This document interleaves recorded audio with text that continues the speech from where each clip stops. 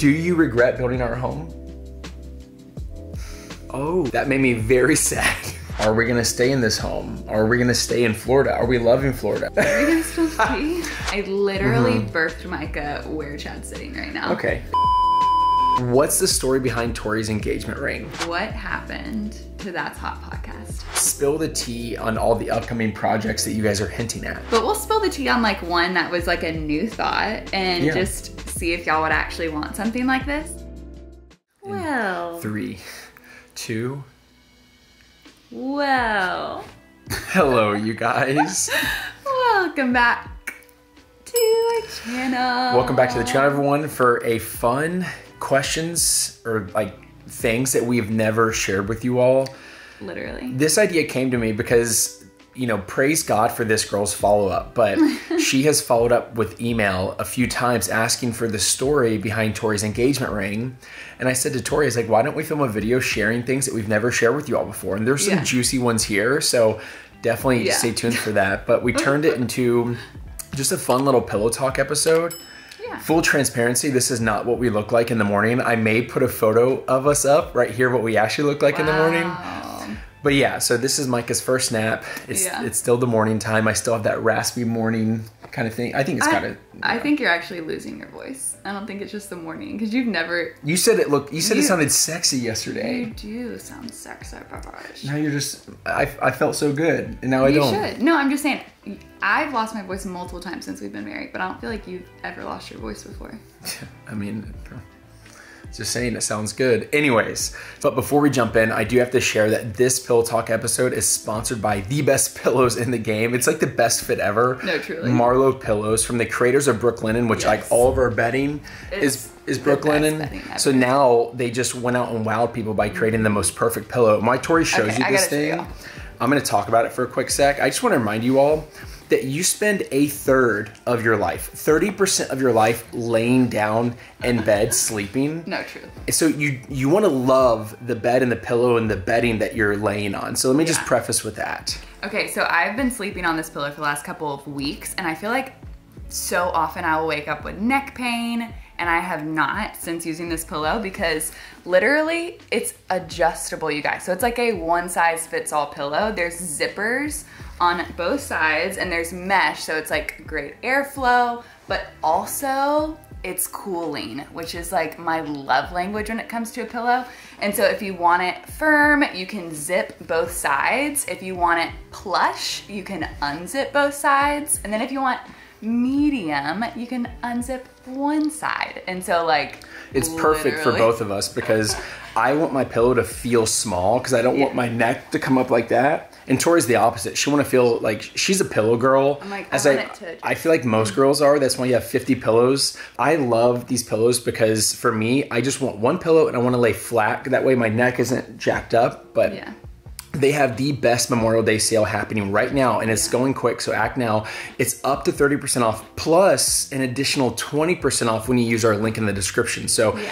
up your pillow game. Take your sleep seriously. Remember, a Yeah. third of your life is spent on the bed sleeping, Yeah. so you want to love your sleep. Yeah, we'll put that link below for you guys. Okay, first question. Let's just go for a juicy one off the bat. Okay.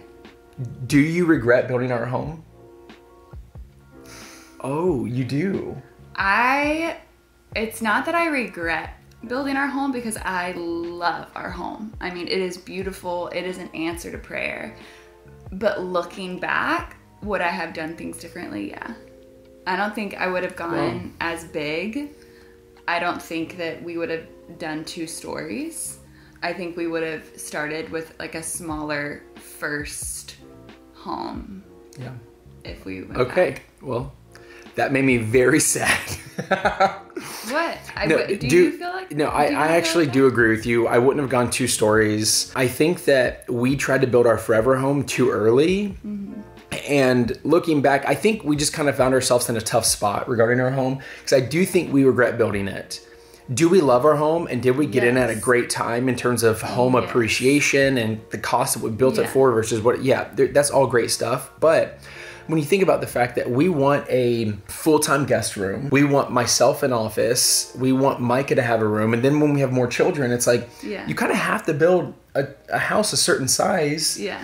Because how else do you fit like a lot of people in here? Yeah, No, we're and not afraid of kids sleeping in the same rooms and stuff like that. Not but it was definitely like. But I do feel like when it's a nursery, I, if we have another baby anytime soon, Mm-hmm. I wouldn't want to put a new baby next to Micah right away because Micah Yeah. just started sleeping. Yeah. You know what I mean? So I think that like having a nursery separate, shout out like, Micah. kids room would be important. Mm-hmm. You know, for me, just to like have that separation.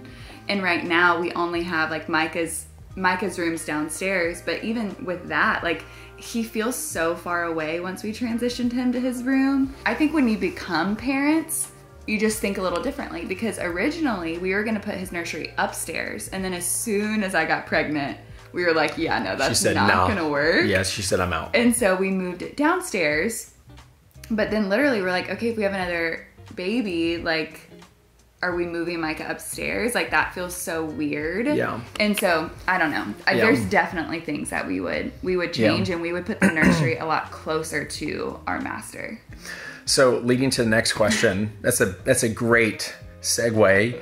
Because you have so many regrets building this home, that begs the question is are we going to stay in this home? Are we going to stay in Florida? Are we loving Florida? Are we planting roots here in Florida? We're are, are we gonna spill tea? No, listen. We we can't lie. We we have thought about what it would be like to live closer to community. Yeah. We, we we can't we can't hide that from you all. I'm sure you all felt that as we were like creating those vlogs of visiting friends. But we also love Florida. We're both born and raised here. Yeah, and we we do like as much as I just said like there's regrets that we have in this home, this is still like our home. Yes. Like I literally birthed Micah where Chad's sitting right now. Okay, it's been washed, really disinfected. Crazy. So there's just so many memories in this home and like when we came back from that trip, I could have kissed the floor. Like I love Yeah. this place so much. So I don't want it to come across as like unappreciative or Mm-hmm. any of that because I truly could not appreciate this home more. Like every single detail was Yeah. so intentional and thought about. And I know that if we were to move, like wherever we do move, if we do, it's not going to be the same as this house. Yeah. And that's something that I'll have to like wrestle with, Yeah, probably mourn a little bit. yeah, And we're also saying this like we're not moving tomorrow or even next month. This is something that we're saying like in the future. Yeah. If God calls us and there's like confirmation, etc., then like things will be Yeah. put in place. But yeah. But I also just want to want to clarify. You're allowed to think about stuff. Yeah. Like just because you're thinking about something doesn't mean you're not grateful for this Yes. home and Yeah. you know that's the whole point of pillow talk is it's just Yeah. like airing out thoughts and Yeah. honestly that brings me to just wanting to thank you guys for watching our videos and giving us the opportunity to even think about like life. life and what we want to do and dream and stuff like that it's only possible because of you all so i just want to say that like it's so and so but next question Okay. which is the one that this girl has been lovingly asking for is what's the story behind Tori's engagement ring? Yeah. If you guys remember the engagement video, it'll be up here somewhere. I put a lot of thought into designing her ring. Mm-hmm. And I had a mentor who unfortunately passed away. If you guys remember that video, Scott, he hooked me up with the ring. So he got it at a great price for us and he allowed me to do some unique things to it. And so the big story behind the ring is that I put a hidden diamond on the inside, a small little baby thing, just the smallest thing you could ever see inside of her band. And the story of it was that, is that you know the stone on top is beautiful and everyone like oh wow not, not nice ring and all this stuff. People get to see the beauty of tori on the outside but i get to experience what's on the inside. I get to really see the beauty that she emulates from the inside out. And so that's the story behind the engagement ring and so that was just a nice little thing that I wanted to do for her ring. That it was like it's just for her. For her, of course, I'm sharing that idea, but I've shared it with a lot of people. Even though I um, can barely ever see the diamond anymore because I can't get my ring off. I can't get my ring off either. Like age is unforgiving in terms of like you know what I mean. oh, It is what it is. Goodness. Okay. Okay. Next question. The next one was what happened to That's Hot podcast? Yeah. What So- happened, babe?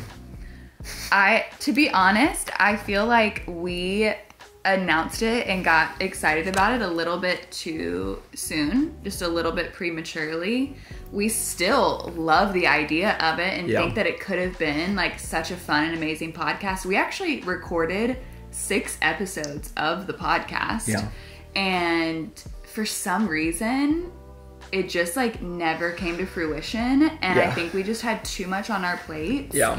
And coordinating everything and getting new people on the podcast and trying to figure out how to Mm-hmm. how to do that and make it feel organic and like us and not a production and Yeah. everything else was Yeah. just tough. Yeah, I love what you said there about it feeling organic and not a production because there is a certain extent when you have guests on that you need to like produce it and you need to have questions prepared. You don't want it to feel scripted, but you want to like be prepared. So there's like this fine line. But I mean, I personally have an answer to like what happened. Go for it. We did all the right things, but then whenever we started talking to our management about it, they're like, oh, it could be cool if a podcast network would like to produce this for you all. Mm-hmm. And so that's basically when they shop it around to Spotify, to iHeart Podcasts, to any other media company who manages and produces podcasts. And we got into negotiations with several of those companies. And when I say we, I mean Tori and I didn't, it was management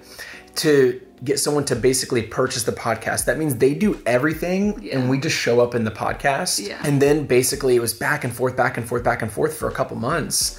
Yeah. And then it just kind of fizzled because well, and we also like launched it and then we found out that she was pregnant what Yeah. like shortly after. yeah, like a couple weeks after. Yeah, and so obviously life just happened, and that kind of leads to this last question, which was, or it wasn't even a question, it was more of a statement, which is spill the tea on all the upcoming projects that you guys are hinting at.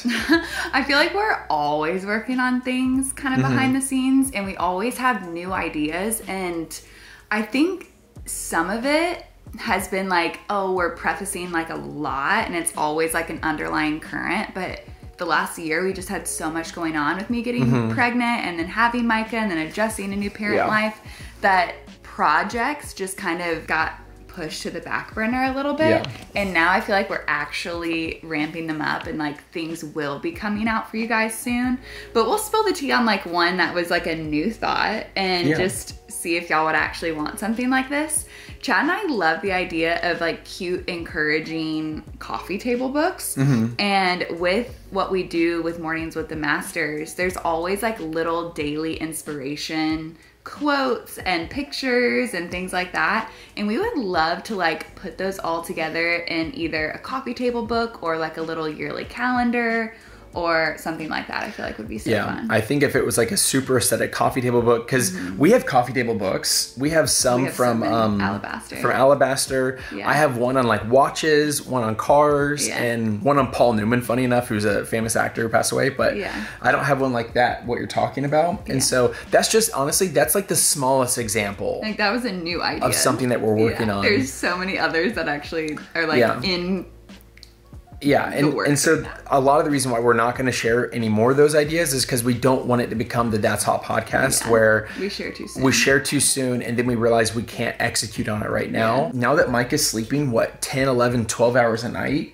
Yeah. we feel like we're getting our life back. Yeah. And there are things that we absolutely want to say, get excited for. Yeah. But also, Tori and I are trying to be more realistic. That way, we're not like, get excited about this. And then you guys are like, what? we got excited and like nothing yeah and, happened. not, and Yeah. so we may find a way to drop some of those that's hot podcast episodes you know I know. I was thinking like could we do some type of like the hidden episodes yeah it could be like the You lost I mean? The episodes lost or something episodes. yeah, that's what I meant. we'll think about that but anyways if that's something y'all are interested in. Also, something we really, really want to bring more to you guys is like downloadable resources that are free. Y'all loved the non negotiable downloadable PDF. We'll link it again if you missed that episode. But if there's any like style of resource that y'all would want, comment below because we love like mm-hmm. creating those things for you guys. That's always our heart is to bring value to your life, bring encouragement to your life. And so yeah, if there's any like topic or anything specific that you're like, hey, I would really love some help in this area that you think that Chad and I can do, then ouch, I literally just scratched myself. oh i'm sorry babies It's Okay. anyways do you want to show them your thumb Oh. It looks like absolutely nothing because there's just a bandage on it right now. Y'all, but she messed it up. apparently, me doing the dishes is a dangerous task because this is not the first time that I have cut my thumb very terribly. The first time was this thumb about five years ago when Chad and I were just dating. We mm-hmm. weren't engaged yet. And I like don't have feeling in it. Like I actually like lost feeling. Like I have nerve damage. And so this one, I was literally just cleaning a plate and it broke on my thumb. Like didn't drop, didn't mm-hmm. fall, like literally just broke on my thumb. Yep. And I went in yesterday to see if I needed stitches because it was like Bad. it's really bad and it's actually too wide and too jagged to even stitch up. Oh, okay. And an- so Anyways, It's pretty bad. that's a sign that Tori and I need to buy higher quality plates. And speaking of high quality, make sure to check out Marlow Pillows. The founders of Brooklinen have been a big supporter of our channel Yes. regarding all of our bedding and now the pillows with their company Marlow. So definitely take advantage of up to 30% off on these pillows, plus an additional 20% off when you use the link in the description. Let us know if you like these kind of videos because it, it feels these. so much more chill. But we still are like sharing pieces of our life, which is fun. But Yeah. other than that, we love you guys and we'll be talking to you in the next video. love you. Bye.